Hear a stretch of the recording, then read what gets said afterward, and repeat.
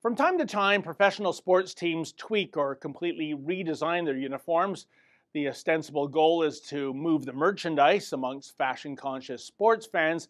I mean, perish the thought that a Toronto Maple Leafs fan shows up to a game with a jersey displaying the stylized angular leaf logo of yesterseason, as opposed to this year's Back to the Future Leafy Leaf logo.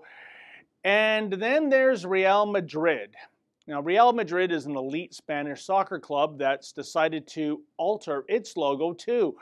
Well, not the logo on the jerseys the team will be wearing and selling in Europe, mind you. Rather, Real Madrid's new crest is meant for Middle East soccer fans. You see, if you look really, really hard at Real Madrid's logo, you'll spot a tiny crucifix. That's problematic as Real Madrid doesn't want to upset the cultural sensitivities of soccer fans living in non Christian majority countries. Now, granted, Real Madrid is a private entity.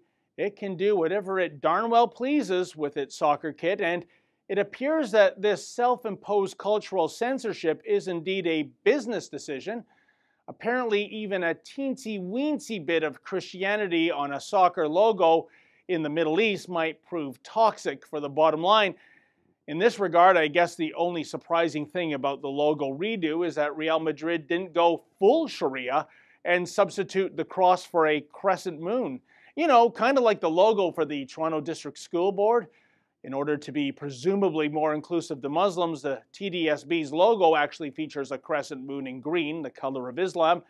Then again, maybe this logo makes sense in the Truth in Advertising department, given that some Toronto public schools now host gender apartheid mosques on Fridays, uh, but I digress. Speaking of crescent moons, I wonder what sort of outrage would erupt if a professional Arab soccer team decided to remove an Islamic symbol on its jerseys for sale in non Islamic markets. I think I can already hear the cries of Islamophobia, uh, or is that a pipe bomb exploding?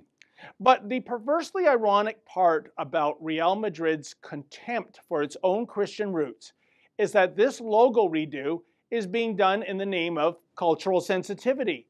After all, most of the Middle East is an unforgiving crucible when it comes to religious and cultural minorities being persecuted, tortured, enslaved, and even murdered. Not a whole lot of sensitivity happening in that neighborhood.